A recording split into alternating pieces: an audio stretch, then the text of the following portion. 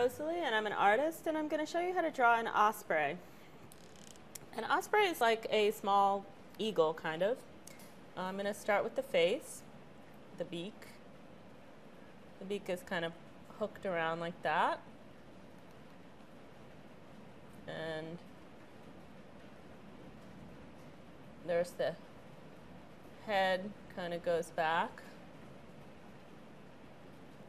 And uh, he's looking to the side. And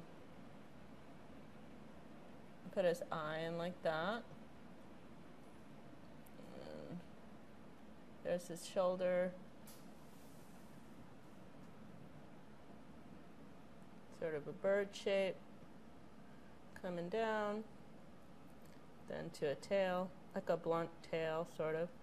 And I put the tail feathers. He's just perched, so all his feathers are gathered together. There's his wing, and he's on a branch.